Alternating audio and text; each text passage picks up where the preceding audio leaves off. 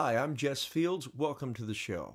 The other day I interviewed Dr. Jennifer Mercieca, a professor of communications at Texas A&M University who specializes in studying rhetoric, and her new book is out this week. I got a pre-publication copy from Texas A&M University Press. The title of the book is Demagogue for President: The Rhetorical Genius of Donald Trump.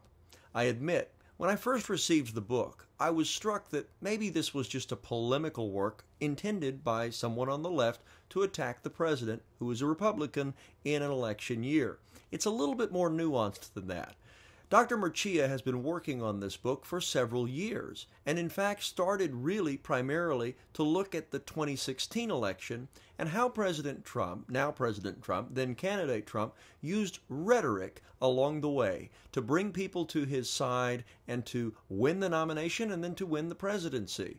It's a very interesting work from that perspective. It's about 200 pages long and there's over 100 pages of footnotes, so it's very well researched. Whether or not you agree with what she says about demagoguery, I think the perspective that she brings to the table is worth listening to. Because certainly, if you are opposed to the president, you would view the demagoguery or the rhetorical tactics as a negative. If you're supportive of the president, then you would be able to see that Donald Trump's rhetoric is part of why he has been able to successfully communicate with a huge swath of America regardless of your position on the president or the election, and regardless of your political views. I think this is an interesting interview with Dr. Jennifer Mercieca and her new book called Demagogue for President The Rhetorical Genius of Donald Trump. Dr. Mercieca, thank you for joining me today. It's my pleasure. Well, first of all, just give us a little bit of your bio and explain uh, where you come from and what got you involved in communications and how you landed at what is undoubtedly the best university in the world, Texas A&M University. Absolutely. Um, so I teach classes in rhetoric and politics. Um, I teach political communication. I teach propaganda, argumentation, classes like that. Um, I've been a professor at Texas A&M since 2003 and happily so. And um, I got into communication because I'm fascinated with words and how they work in politics. Um, I briefly thought about, uh, you know, a career in media and realized that that wasn't for me and thought about maybe a career in political communication, campaign working, and decided that wasn't for me either. And really, I just wanted to read books and write about them and teach people stuff. so okay, so you don't come at this. Um, I, I, think the first thing I'm going to ask you, Doctor, is to help explain um, the the title of this book, and I'm I'm going to try now. Uh, I'm going to attempt for those who who maybe are watching this. I'm going to bring up a, a screen share. Um, Texas A&M University Press publishing this um, was very generous to um, allow me to have a pre-publication uh, copy of this. Um, and uh, let's see here if I can if I can pull this up here. Okay, it doesn't look like I can, but basically, I mean, the the the title demagogue for president. You've got the the red kind of the, the red MAGA hat, and then you've got the rhetorical genius of Donald Trump is the is the subtitle.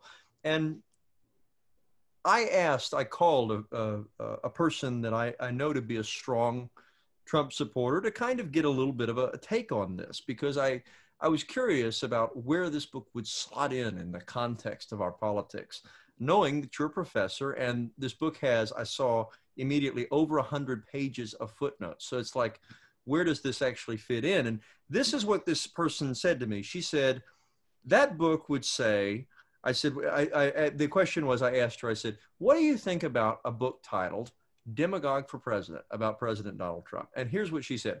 She said, that book would say that a demagogue is all talk and not really truthful. I'm not really sure what a demagogue is other than that. And then I asked, I said, well, I, I said, I think that the, the point of the book is to talk about rhetorical strategies and how that advances what the president wants. And if you're supportive of that, maybe that's a good thing. And if you're against it, maybe it's a bad thing. And and she said, Well, he says stuff, but I don't see that what he says to be divisive. So again, this is kind of talking to somebody that's a strong supporter of the president. Could you help explain? Is this an attack on the president? Is that your goal with this, or what? Where is your goal in in releasing a book like this?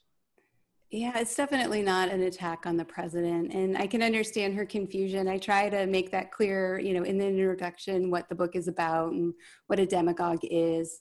Um, so, a demagogue is a leader of the people. That's the literal translation of it. Um, it corresponds with democracy, right? So, we would want someone to emerge from the people to lead the people. Um, usually, the word has a negative connotation, and that's because well, frankly, what we know about demagogues and democracy um, largely comes from people like Plato and Aristotle, Thucydides, um, you know, people who weren't supporters of democracy in ancient Athens. And so, you know, they are suspicious of rhetoric and, um, and democratic government. Um, you know, and so the word is kind of loaded. Um, so I try to unpack what that means. Um, if you look at the Oxford English Dictionary, the first definition of demagogue is someone who defends the people's interests against the other parts of the state. Um, so sort of a heroic figure, someone who defends, you know, the people. Um, and then the second definition is more in line with what we're used to thinking of a demagogue, and that's someone who uses polarizing propaganda for their own uh, personal gain. And so that's a, a, a villainous de- demagogue or a dangerous demagogue.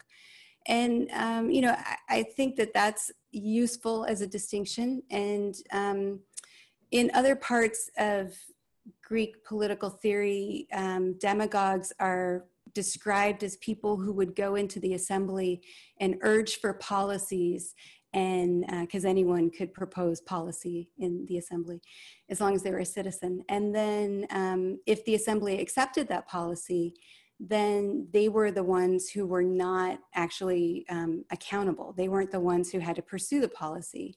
So you know a big part of the athenian political system was about accountability um, and so that to me seemed like a really strong criterion for distinguishing between that heroic demagogue who we would want to emerge from the people to lead the people, and someone who was a dangerous demagogue, someone who would lead the people astray, mislead the people, who would get people to uh, accept policies that they then, you know, rejected responsibility for. And so that criterion of responsibility to me is what distinguishes you know these different kinds of demagogues. Someone it, who's an irresponsible leader is someone that we wouldn't want in any political context whether that's you know the athenian democracy or whether that's today.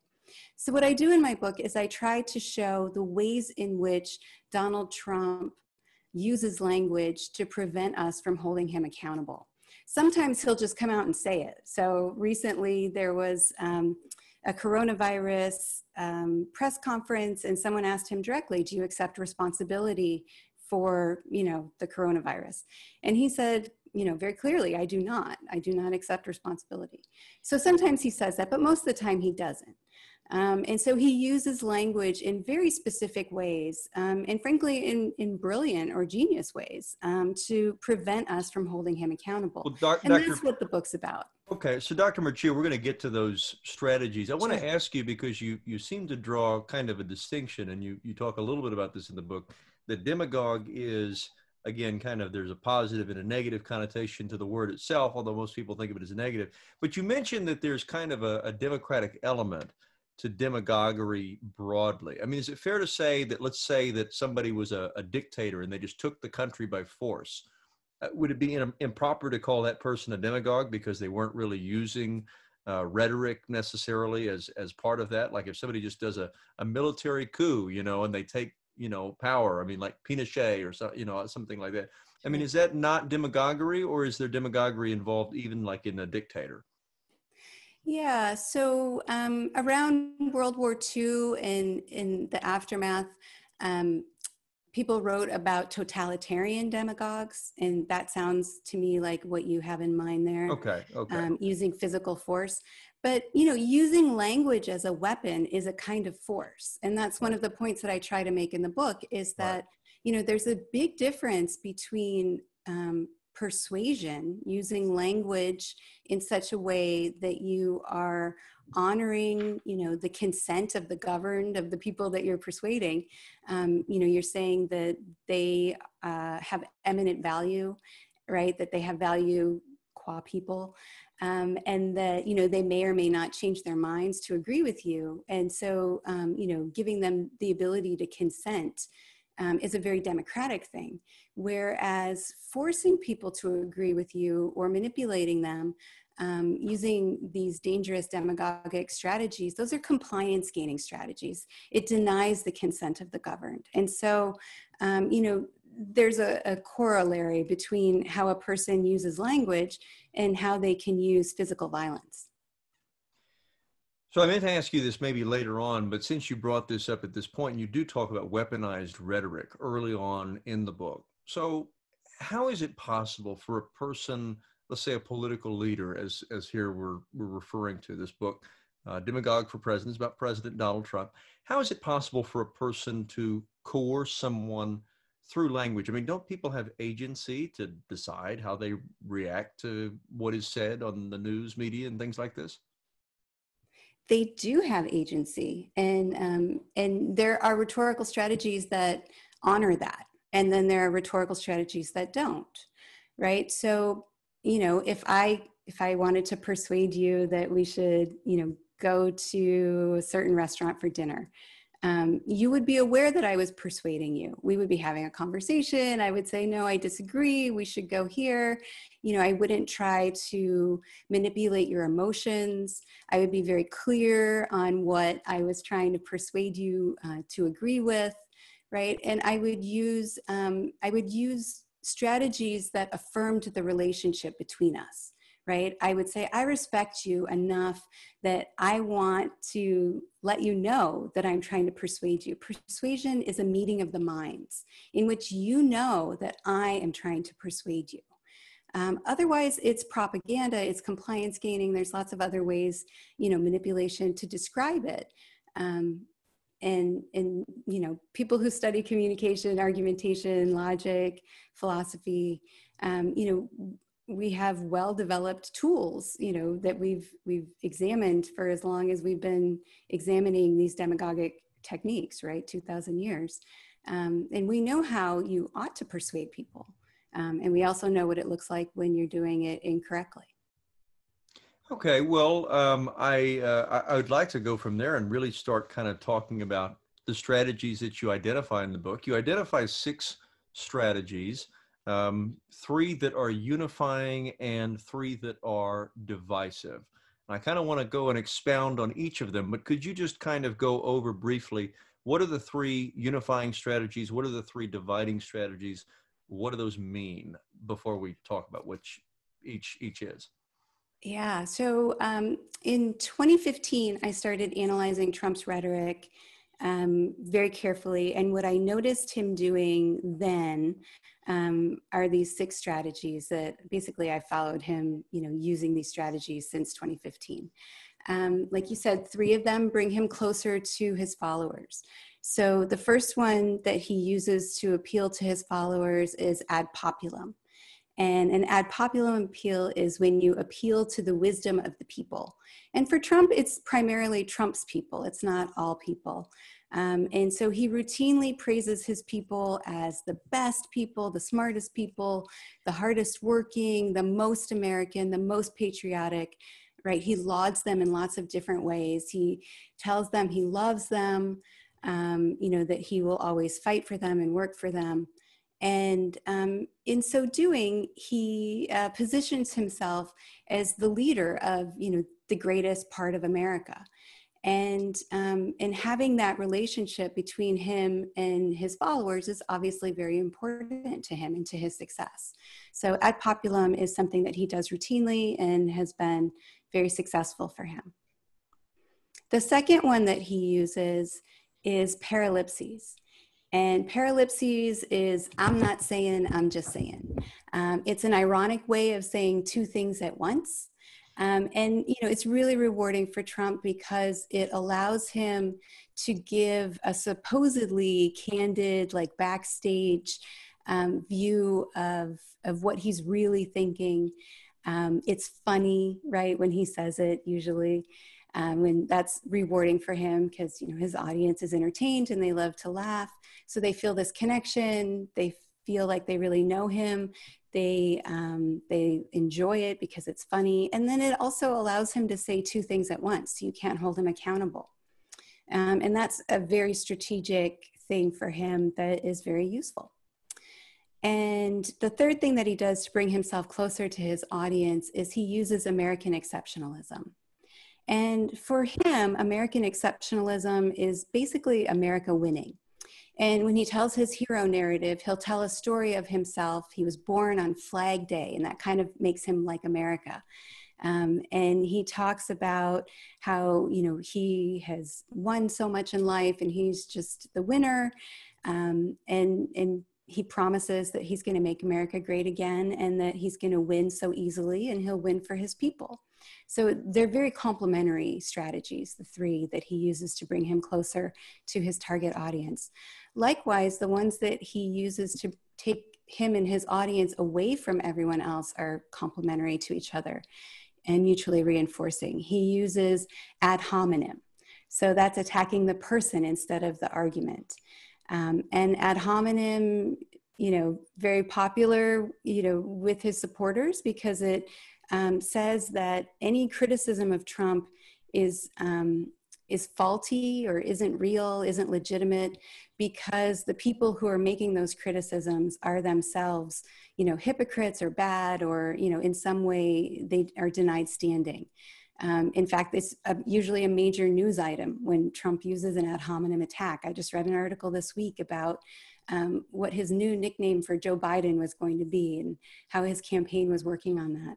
Those are all ad hominem attacks when he says low energy Jeb, when he says lyin' Ted, when he mm. says crooked Hillary, right? Those are ways of changing our focus away from the arguments that those people are making and redirecting them towards the people themselves the second um, distancing uh, or, or polarizing strategy is to use reification.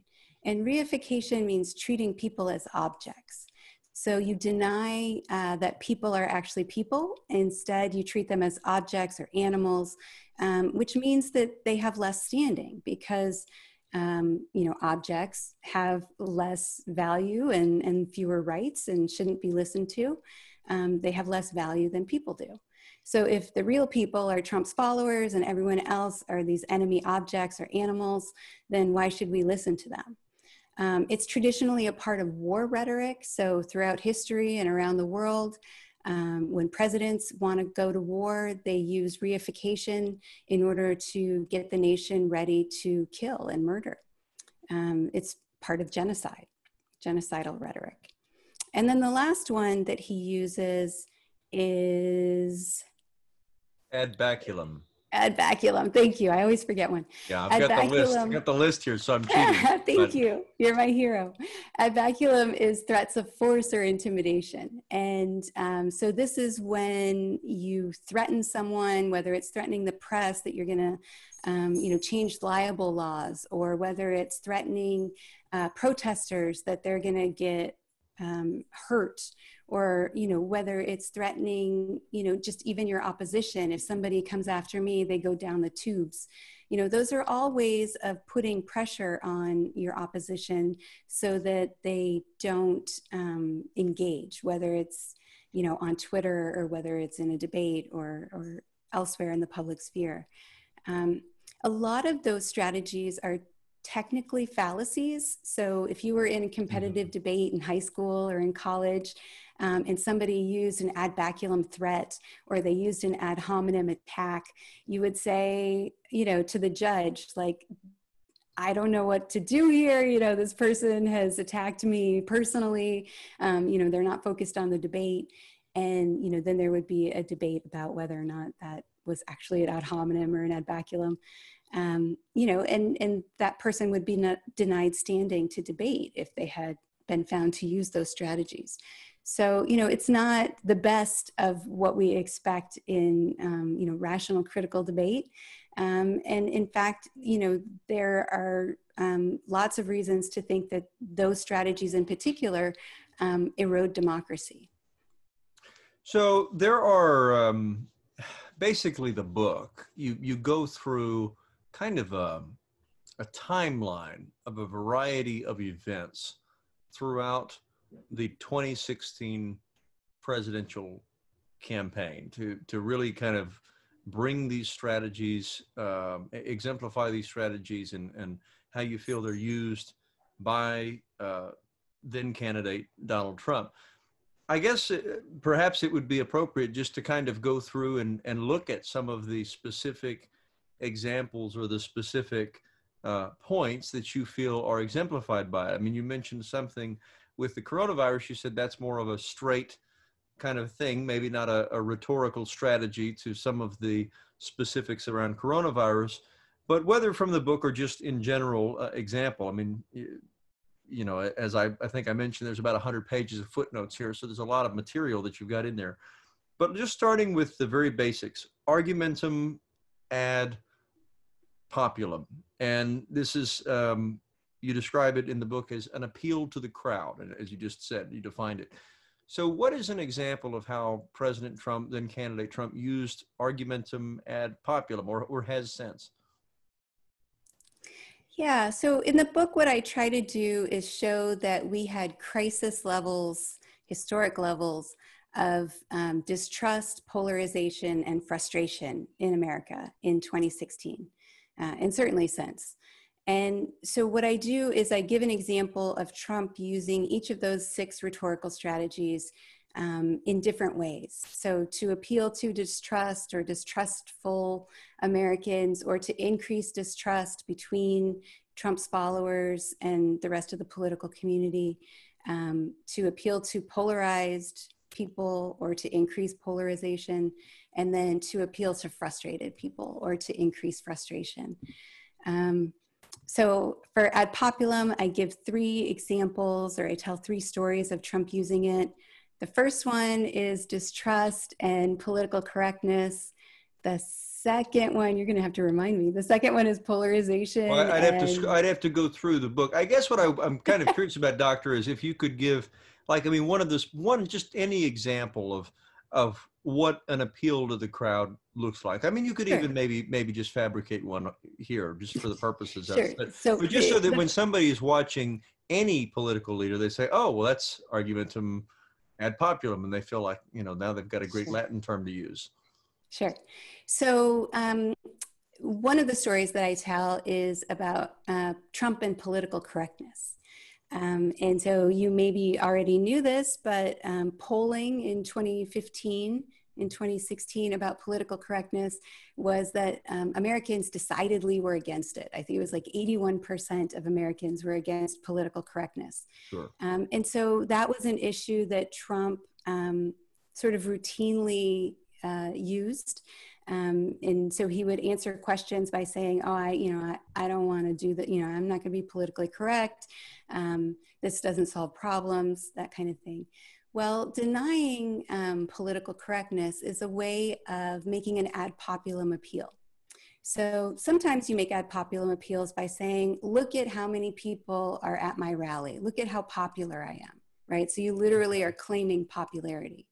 Sometimes you make an ad populum appeal by saying, these people are politically correct. They are poll tested, political stooges.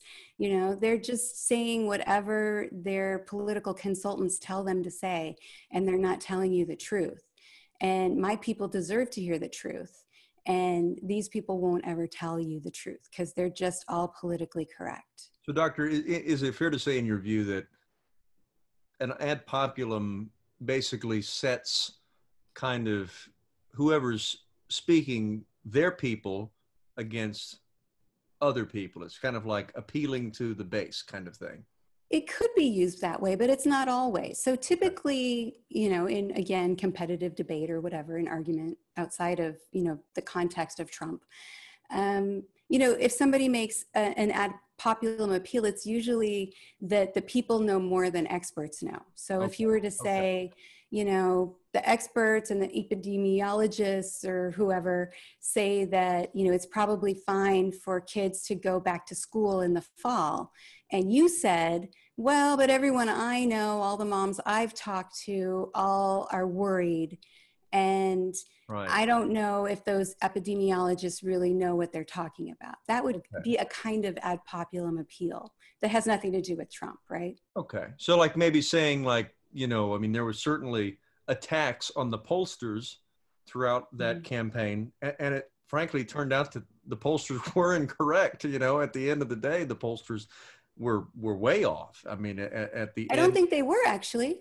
Okay. They uh, within, they were within the margin of error. I'm not a fair, pollster, but that was that's what I've read. You know, is their defense. Well, that's fair, what they fair, say. Well, fair enough. I and and I'm not a pollster either. I mean, it, it, at the end of the day, I think you know, as as you got to the end of the campaign, it certainly seemed like, based on just the polls, Hillary Clinton yeah. would win, and then it was uh, surprising to many when when Absolutely. Trump won. I think that's fair to say.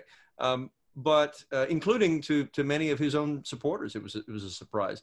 But the attacks on the pollsters, like that, you know, hey, you know, the pollsters don't know whatever, that would be an ad populum, that sort of thing.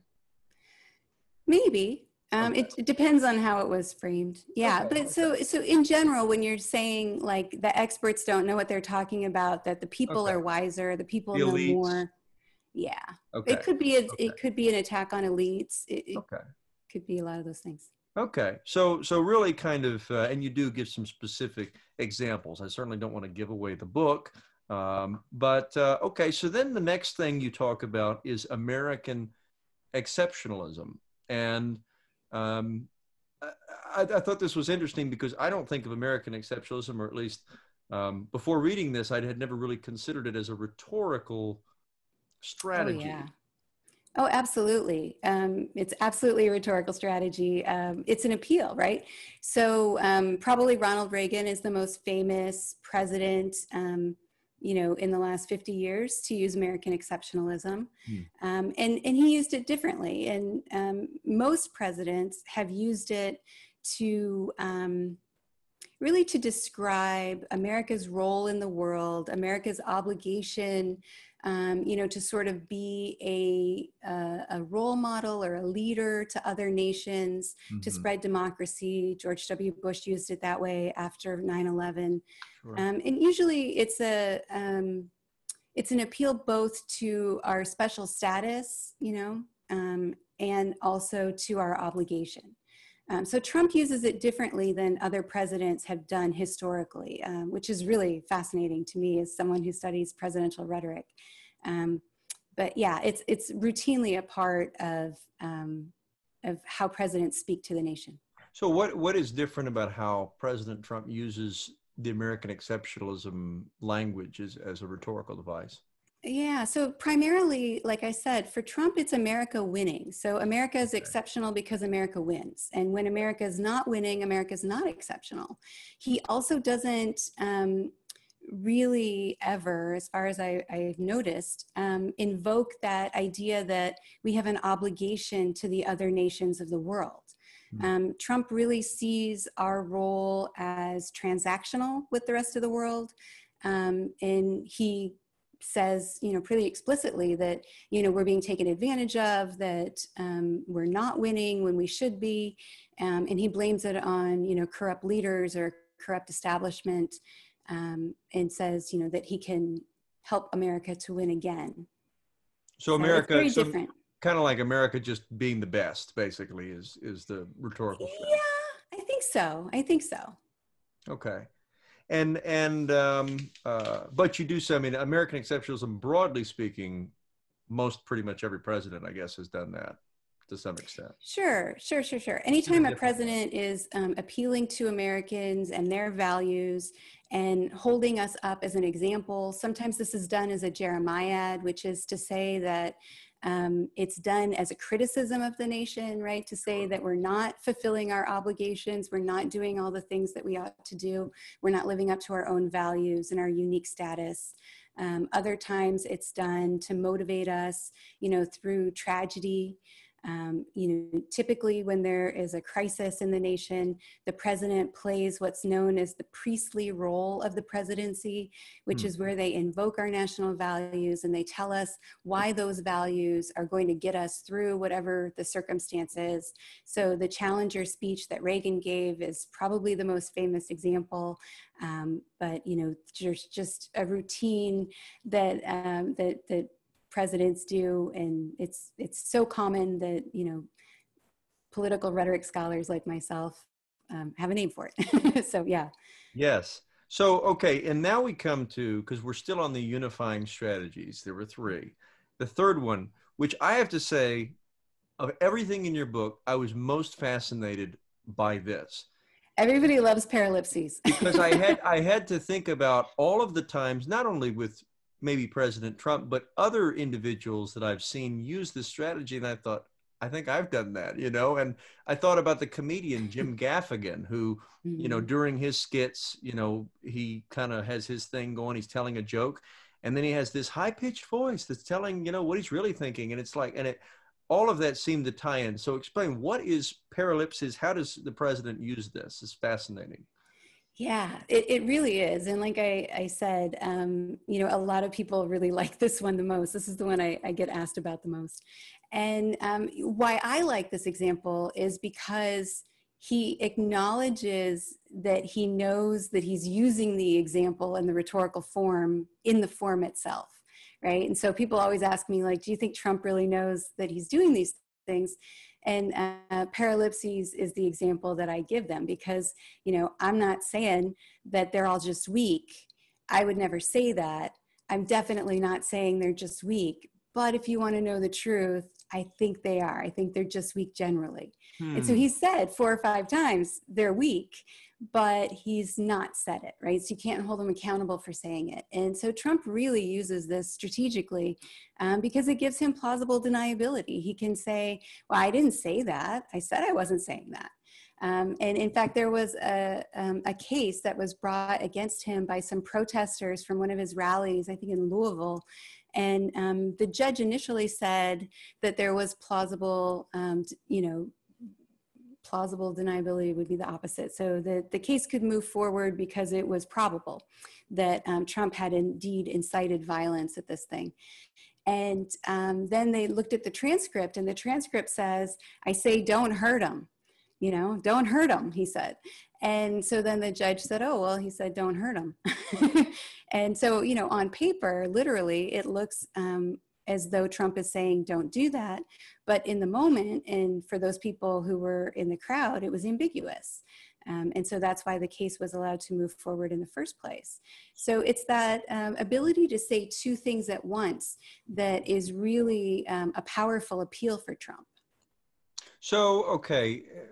Does does paralipsis so in in this particular instance that you're talking about I don't I I obviously without having a transcript in front of me but does paralipsis require the speaker to acknowledge kind of the thing that they're denying? So, um, oh gosh, I, I now I feel compelled to maybe find an example from the book because um, this was something I had never heard of before, Doctor, and um, uh, uh, well, so one of the things is retweets. So, you know, you'll see a lot of people on Twitter have like retweets are not endorsements. Um, retweets are absolutely endorsements. People should not have that on their Twitter because that's not true.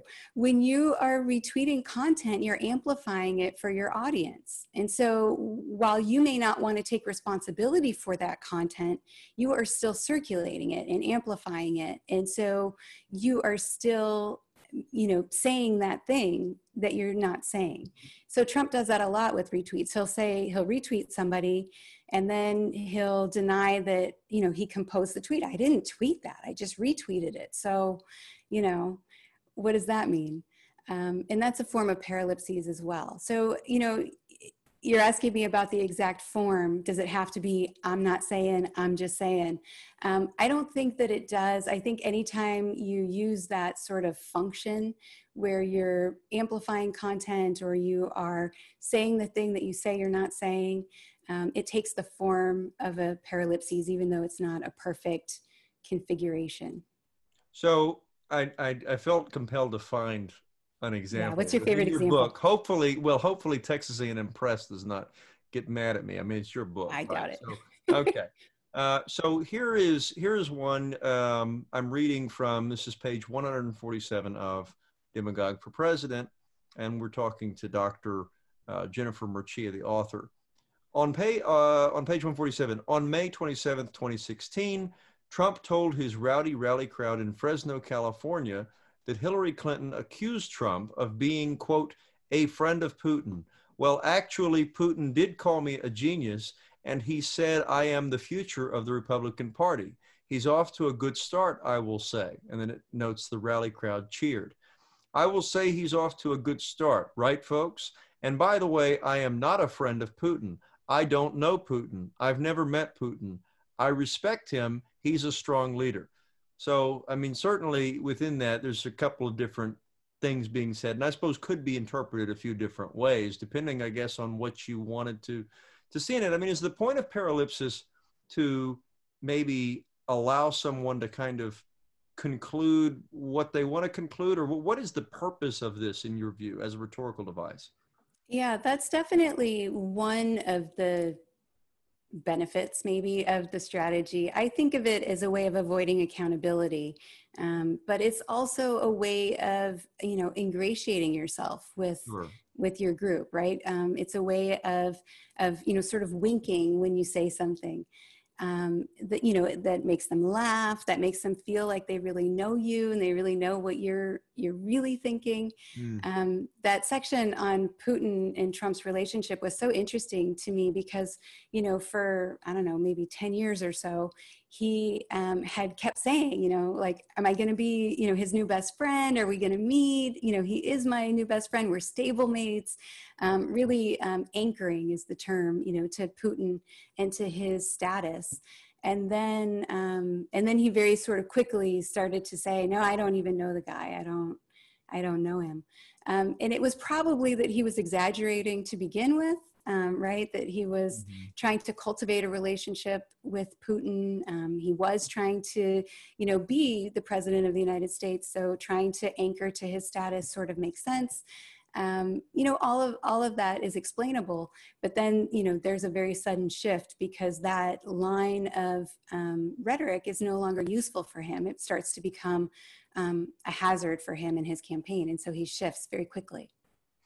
So there's one other one that actually was the original example I wanted to ask you about. I just couldn't pull it quickly enough, but now I've got it pulled up, um, which was um, uh, I'm sure a lot of people in Texas remember this specifically, which was when uh, then candidate uh, Donald Trump was talking about Ted Cruz's father uh, in relation to Lee Harvey Oswald, who assassinated President Kennedy, and um, Oh, let's see here.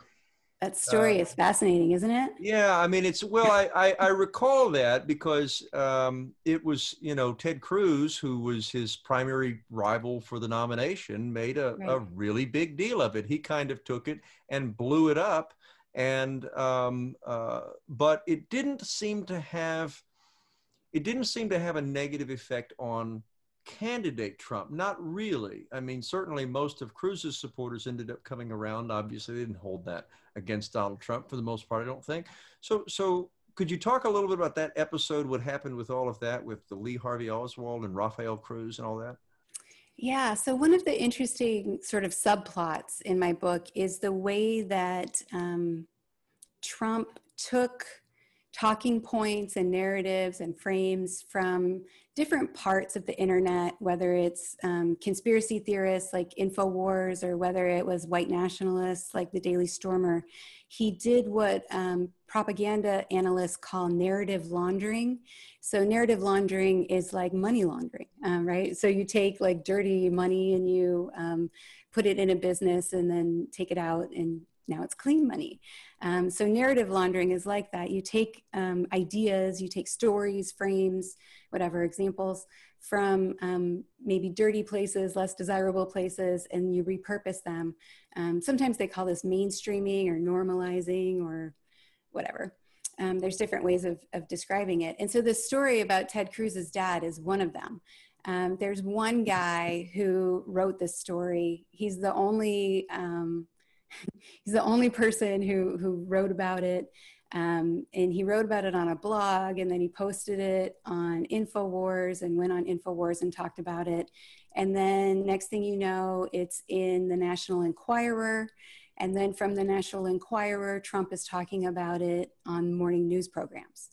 And so, you know, this one guy, um, and nobody can verify the story.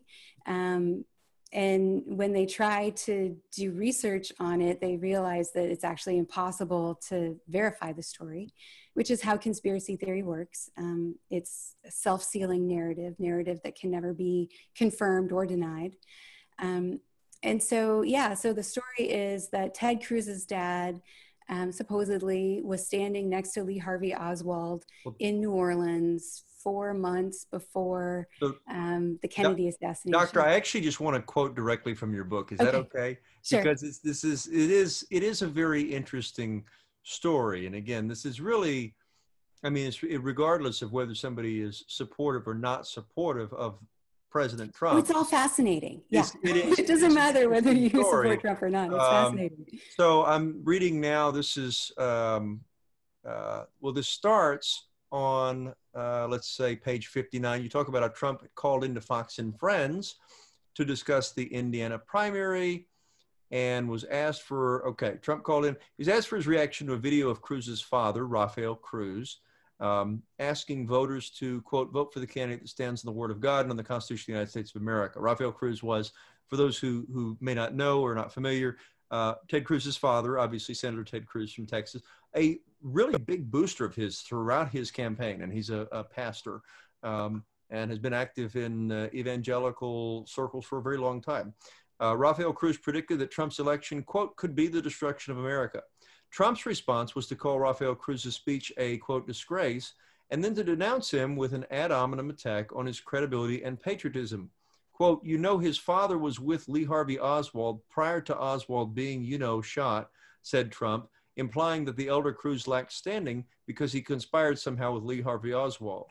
Quote, this is Donald Trump speaking, I mean, the whole thing is ridiculous. What is this? Right prior to his being shot, and nobody even brings it up. They don't even talk about that. That was reported, and nobody talks about it. What was he doing with Lee Harvey Oswald shortly before the death, before the shooting? It's horrible. Then the next paragraph, you give a little bit of a background to this. And I'm going to continue reading this for a moment if it's all right, because this is very interesting to me. And I, there's plenty more in the book that people can read if they want to get the book. I had to actually get a copy of the Enquirer to write this part. The next paragraph Trump was referring to an article published in the supermarket tabloid, The National Enquirer, that had recently bubbled up through right of center conspiracy sites. The story first originated on April 7th, 2016, with InfoWars regular and investigative journalist Wayne Madsen posting a long analysis on the Wayne Madsen report. I think this must be a blog on, on the part of InfoWars, asking, quote, was the father of presidential hopeful Cruz involved in the JFK assassination? End quote.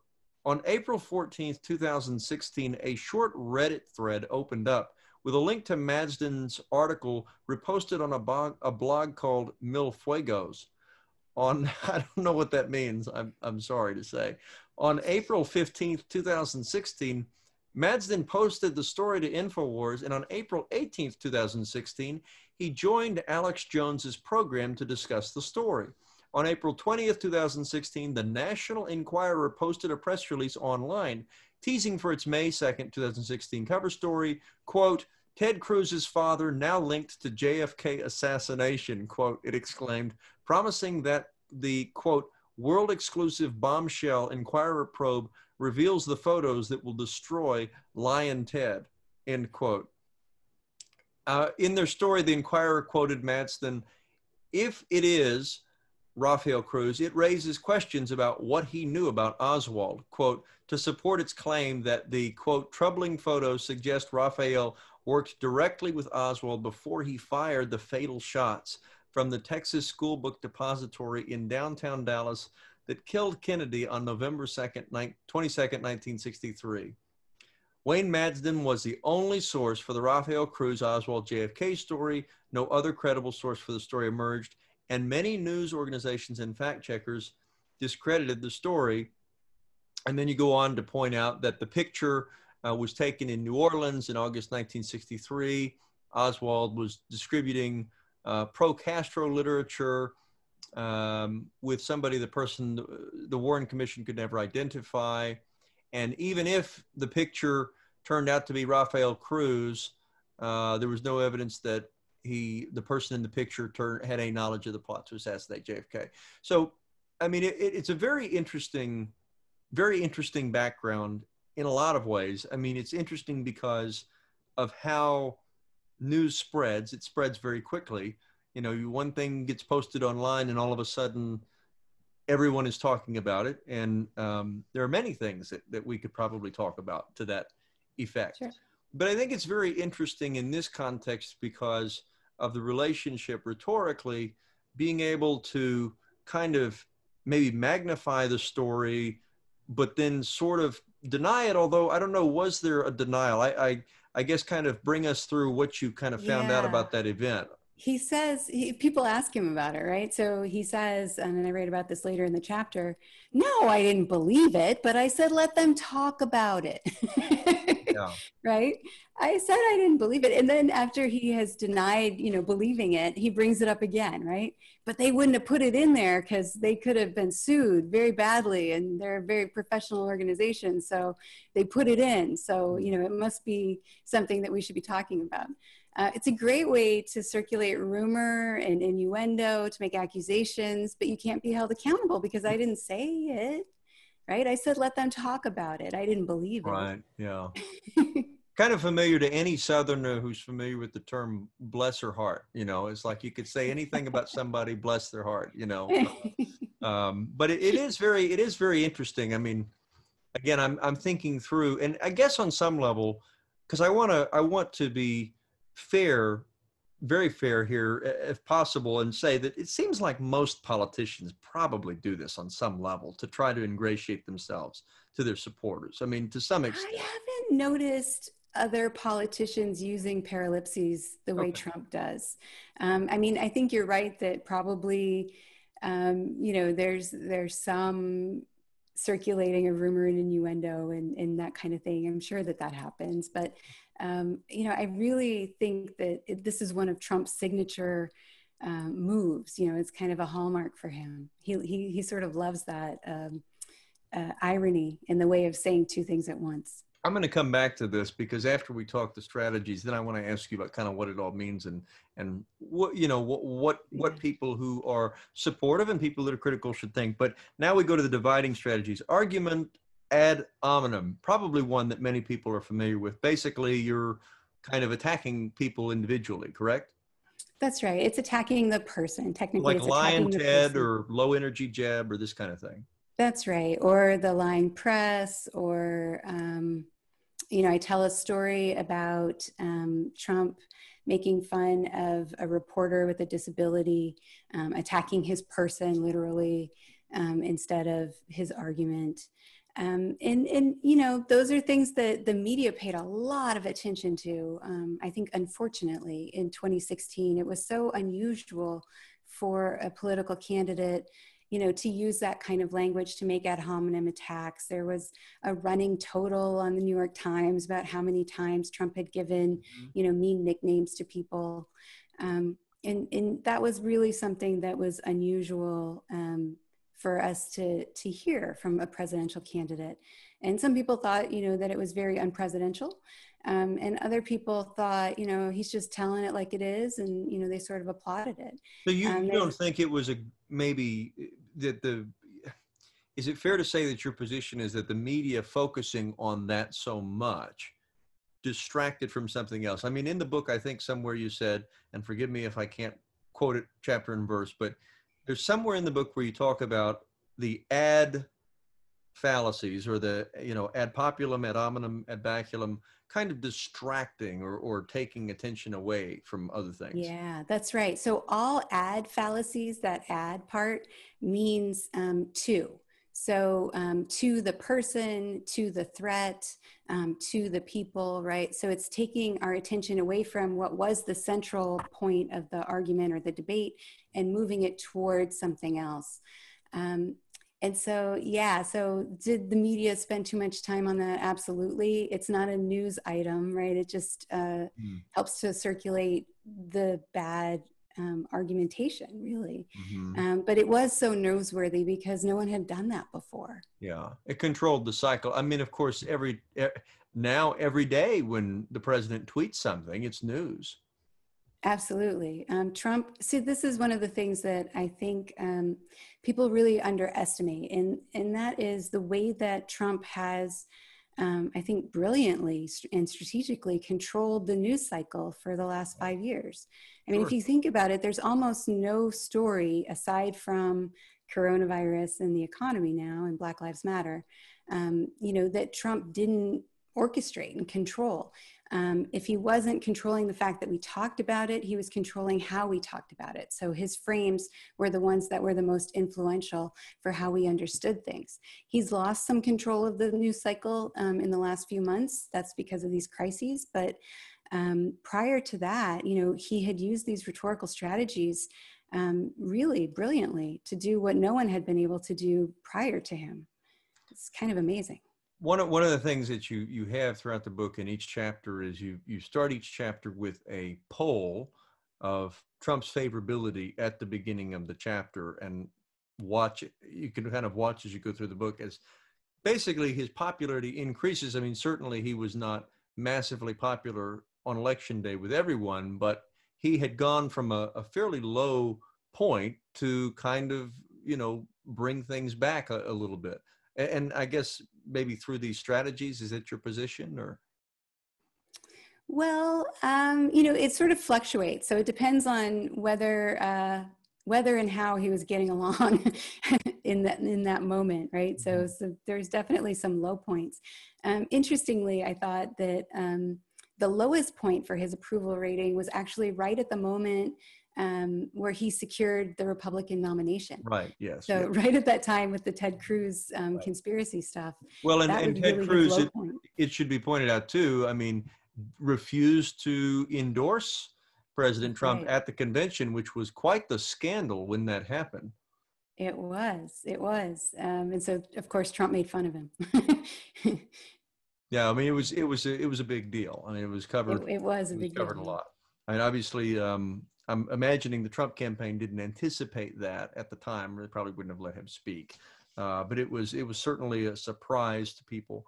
Um, so then we go to argument ad baculum, which you you define as appeal to the stick, which is I think threats of force. Could you yeah, yeah, threats of force or intimidation.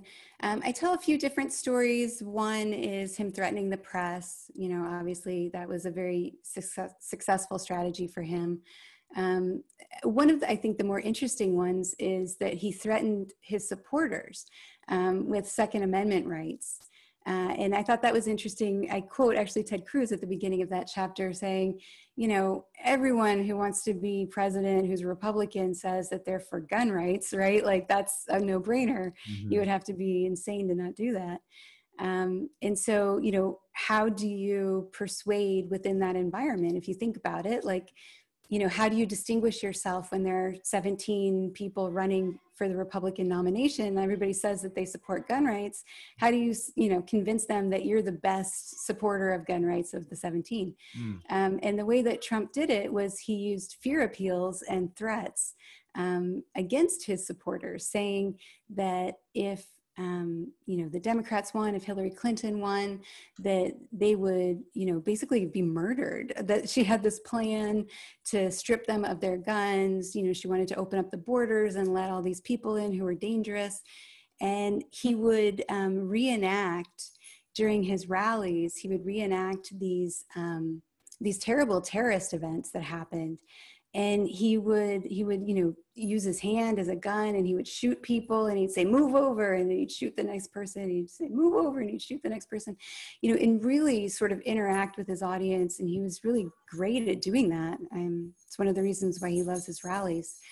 Um, but yeah uh, ad baculum threats of force and intimidation are uh, very powerful in that, you know, obviously we respond to fear appeals, to other negative emotions like um, threats, like shame, mm-hmm. guilt, mm. frustration. Um, and, and those are very powerful for persuasion.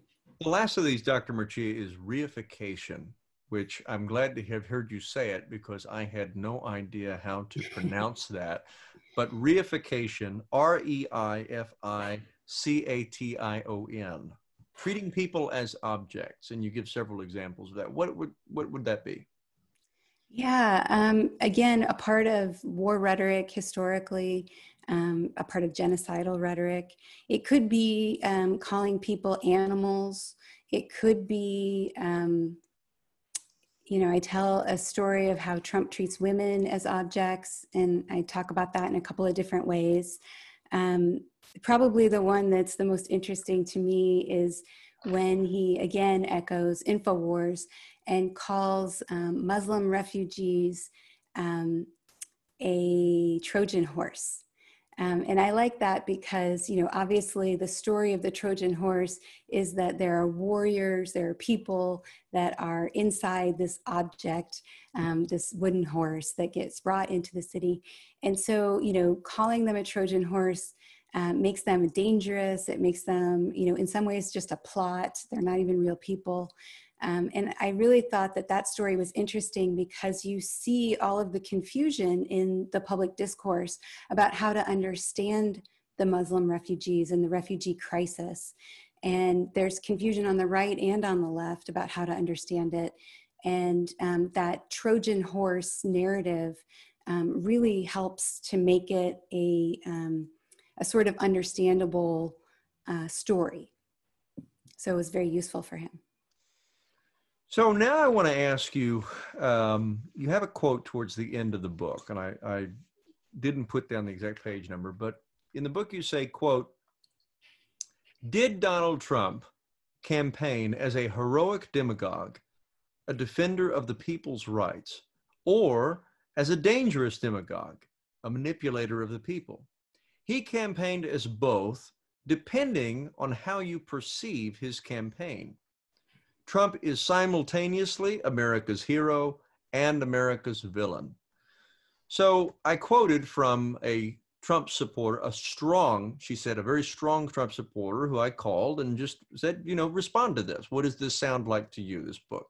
Although certainly there are, uh, there's a lot of footnotes in here and this book is heavily researched on some level, though, you must understand that many Trump supporters would say, well, he's telling it like it is. He's saying what people are thinking. That was actually, that was probably one of the things I recall being said back in 2015, 2016 is he tells it like it is. He's saying what other people are just thinking. I mean, what? Yeah, what I quote a lot of people saying that in my book. What Absolutely. Be, what would be your your response to that? I mean, is that uh, not a legitimate response to what he's saying or or is that just maybe part of the picture in your view or what what is your view of that? I think that your friend's response is exactly what my book is explaining right? That it we are so polarized we are so bifurcated our understanding of reality is so separate that one person could run for president do all of these things and mm-hmm. we could understand it in completely different ways mm-hmm. so if you're a supporter you see him as a hero absolutely.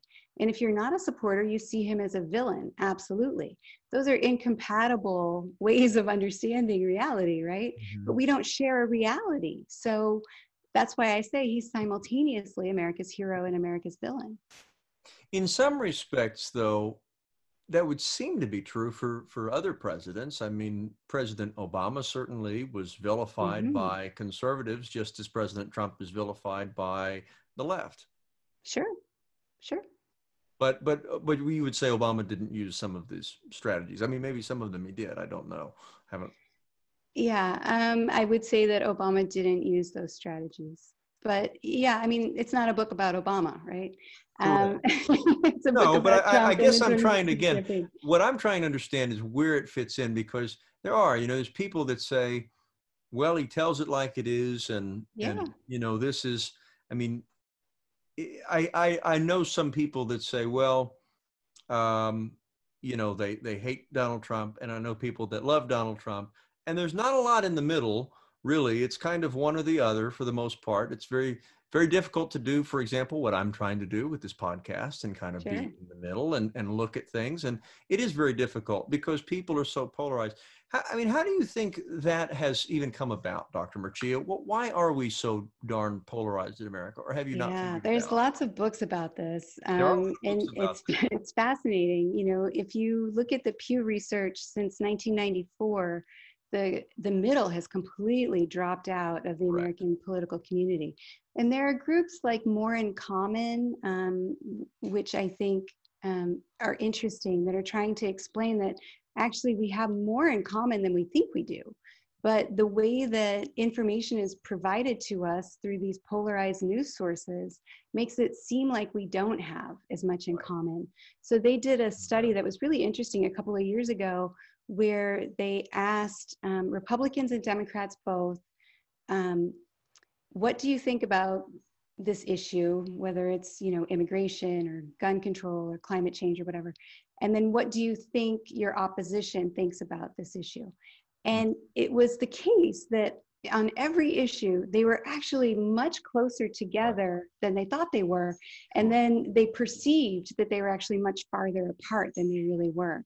Right. Um, and so there's something about that. Um, and I really think that, you know, it's about the way that news is consumed and um, created. I think that, um, you know, people benefit from division because then you can yeah. divide up audiences, right? There's a great book about the outrage industry um, that explains that since the mid 90s, um, news organizations, cable channels, radio stations, all that, that used to use um, kind of least objectionable programming, right? Used to go for kind of a moderate middle, didn't want to offend people, didn't want to lose an audience.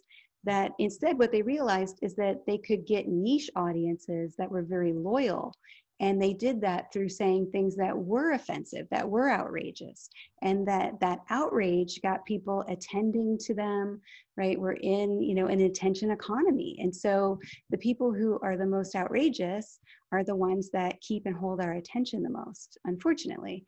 That's terrible way to organize our public sphere right? You would never ask a communication researcher like myself like hey, what's the best way to make democratic deliberation function in America?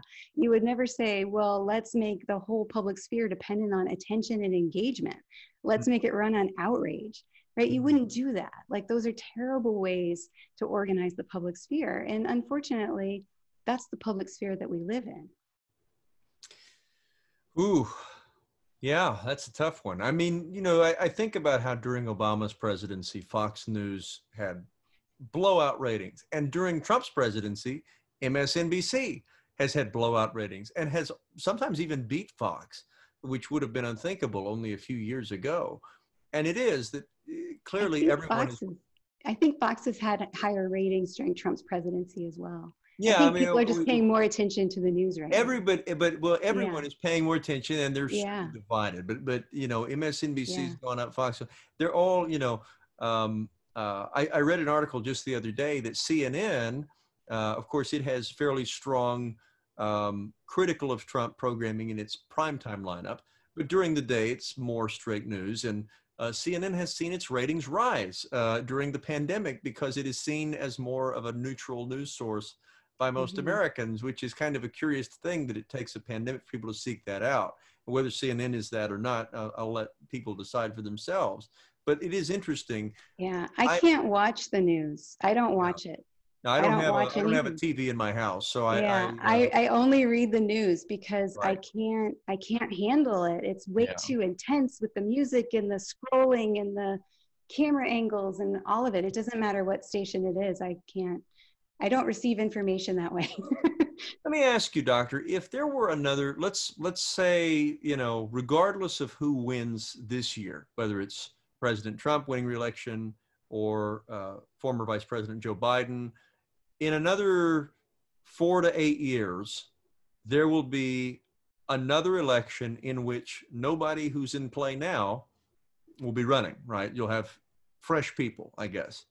And let's say there was a candidate that wanted to read the candidate was smart enough to read Texas A&M University Press, and then they picked up Demagogue for President. They said, "Ah, I bet I could use these strategies." Do you think these strategies are evergreen? Would this work in eight years, ten years, twenty years?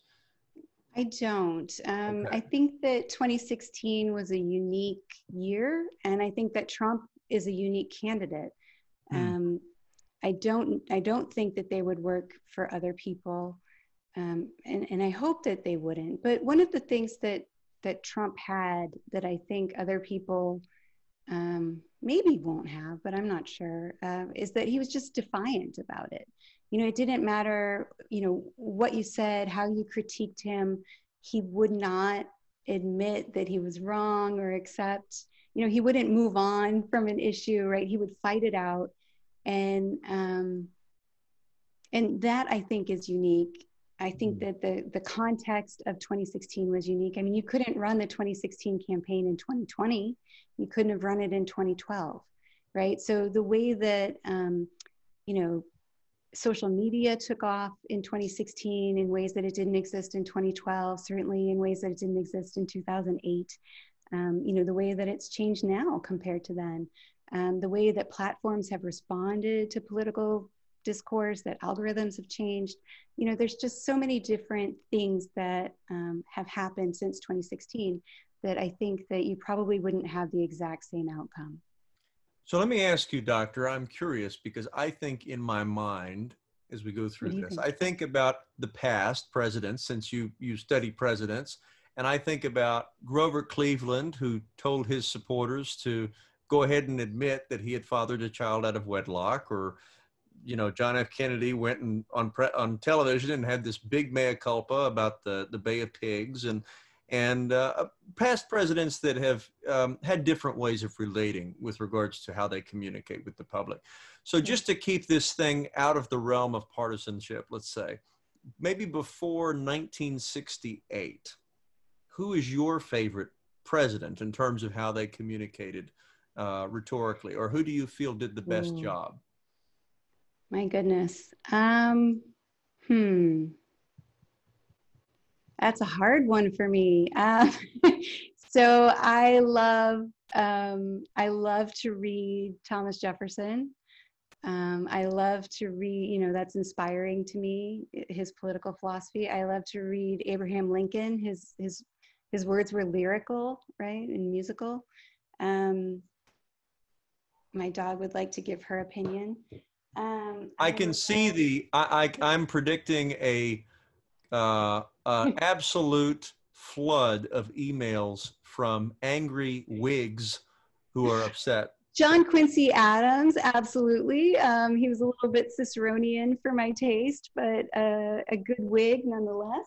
Yeah, he was he was the favorite president of uh, a high school history professor of mine who was absolutely insistent that he was the most underappreciated president.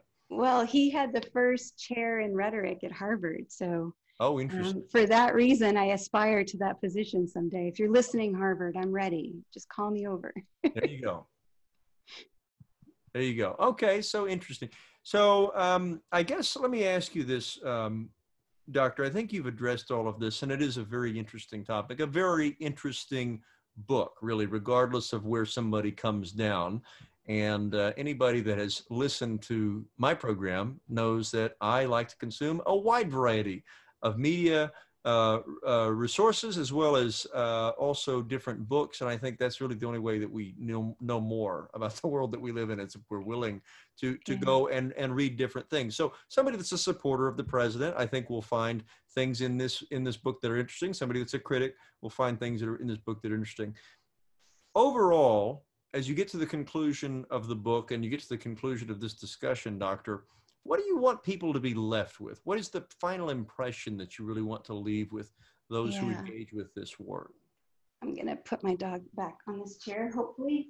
Um, I, I hope um, that people will understand that Trump is a very strategic speaker. Um, I think that people underestimate him, and I don't think that that's useful. Um, I think it's it's better to understand that he actually does routinely use these six strategies and that they're very effective for him. he deploys them when he needs them. He pulls back on them when he doesn't, um, which is part of you know what I try to show in the book. And um, I hope that people will decide for themselves what they think about them, right? So I give you a standard of judging, which is to say, like, what is good for democratic deliberation and, um, you know, what causes democratic erosion or democratic backsliding, according to research and, and historical studies. Um, but you know my hope is that people will will read this will learn to identify the strategies um, and will see why they're being used uh, and will decide for themselves what they think about them any any other thoughts to add dr Mercieca? Mm, can't think of anything okay. All right. well, well very interesting uh, dr jennifer Mercieca uh, professor of rhetoric uh, in the communications department at Texas A&M University, uh, widely acclaimed by all, of course, to be the greatest university uh, in the history of the world. No reason to go to Harvard, Dr. Mercieca. With the most whoop. Uh, so, uh, and her new book, Demagogue for President, being released by Texas A&M University Press, presumably, I'm guessing, available on Amazon everywhere books are sold, right, Doctor?